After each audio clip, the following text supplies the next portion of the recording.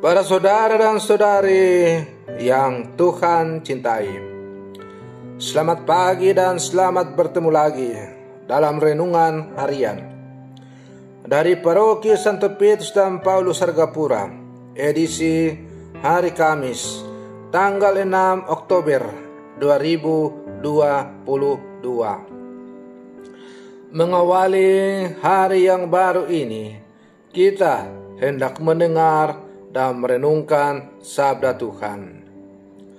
Marilah sebelum kita mendengar dan merenungkan sabda Tuhan, kita berdoa. Dalam nama Bapa dan Putra dan Roh Kudus. Amin. Allah Bapa kami yang maha baik, Engkau akan mencurahkan roh kudus kepada siapa saja yang memohonnya.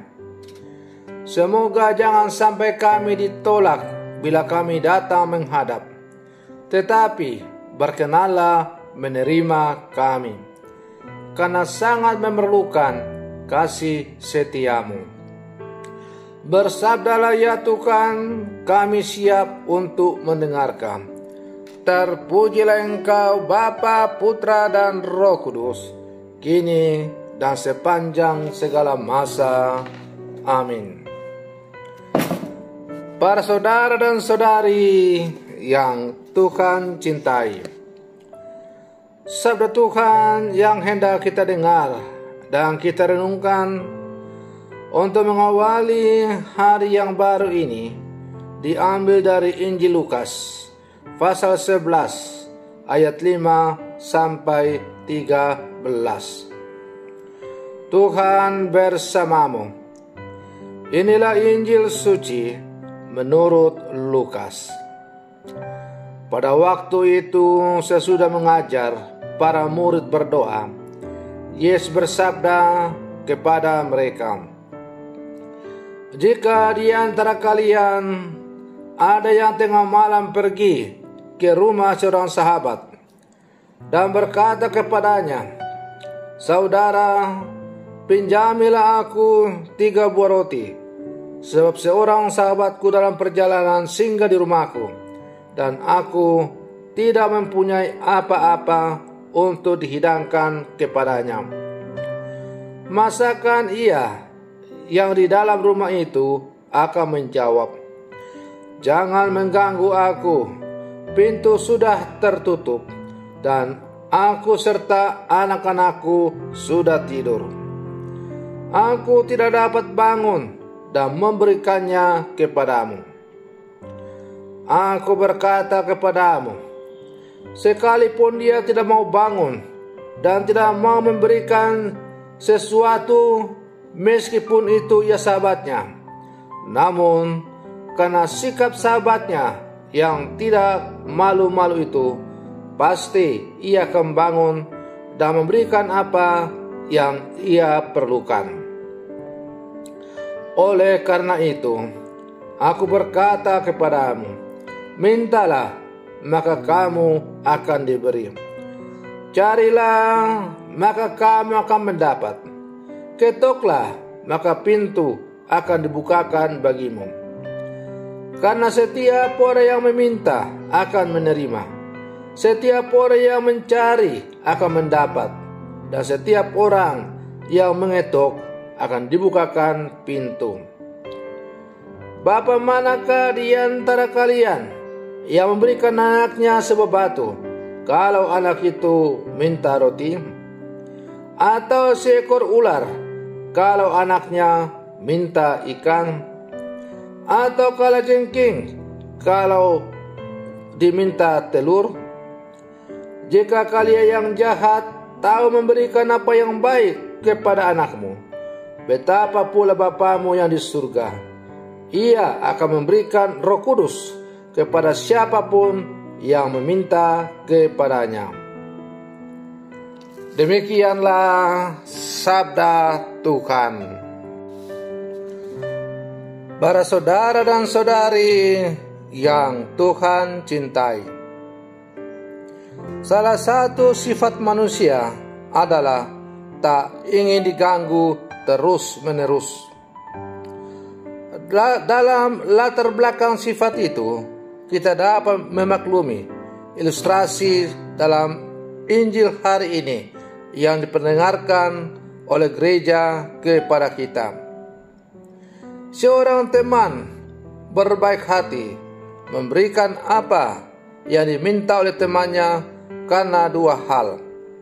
Pertama, karena ia adalah sahabatnya, dan kedua, karena ia tidak malu-malu meminta apa yang sungguh-sungguh ia butuhkan pada waktu itu.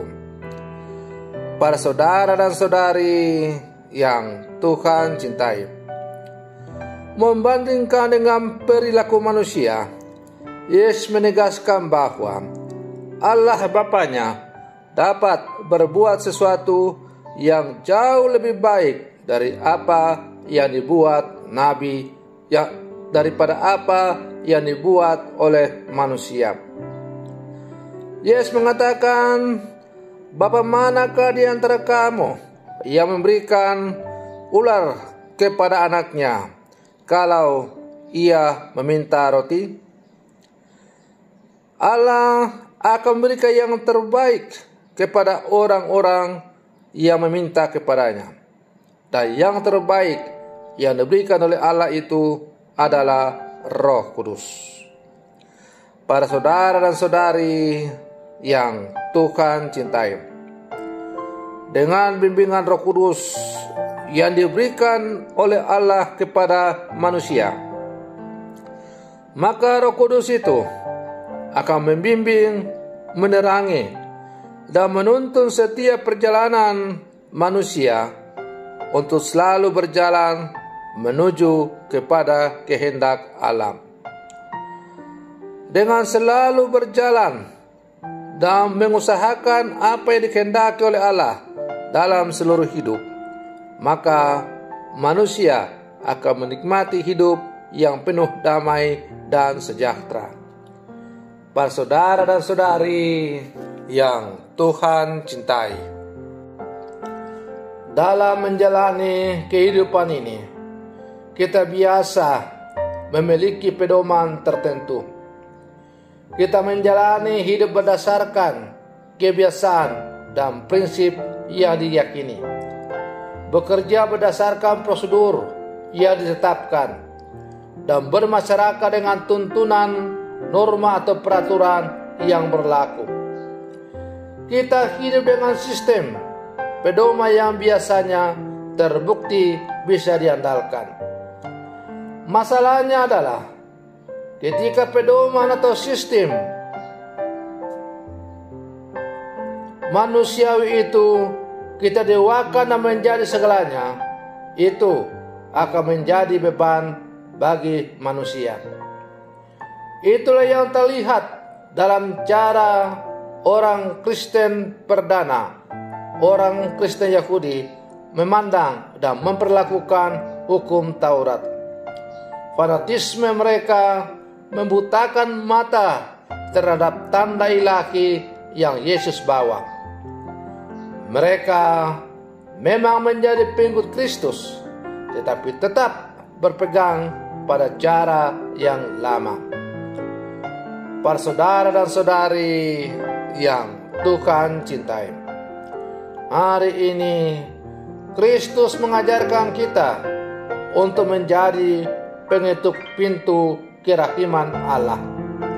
Itulah pedoman utama hidup Kristiani. Ketika kita sudah nyaman dengan semua sistem yang sangat baik dalam hidup, Allah dikesampingkan atau mungkin hanyalah jadi salah satu alternatif bantuan atau untuk dimuliakan dalam ibadat tetapi tidak banyak yang berpengaruh dalam hidup sehari-hari. Tuhan Yesus hari ini mengingatkan kita untuk tidak terpenjara di dalam kenyamanan yang kita bangun sendiri. Kita dipanggil untuk terus mencari Tuhan, meminta berkatnya, dan mengetuk pintu kerahimannya. Dengan terus meminta dan mengetuk pintu kerahimannya, maka Allah akan berikan yang terbaik. Pemberian yang terbaik dari Allah itu tidak lain dan tidak bukan adalah roh kudusnya. Para saudara dan saudari yang Tuhan cintai. Maka marilah dalam seluruh kehidupan kita, kita terus meminta kepada Allah, mengetuk pintu kerahimannya. Biarlah roh Allah semakin membimbing kita untuk semakin menuju kepadanya. Semoga demikian. Selamat pagi. Tuhan Yesus memberkati.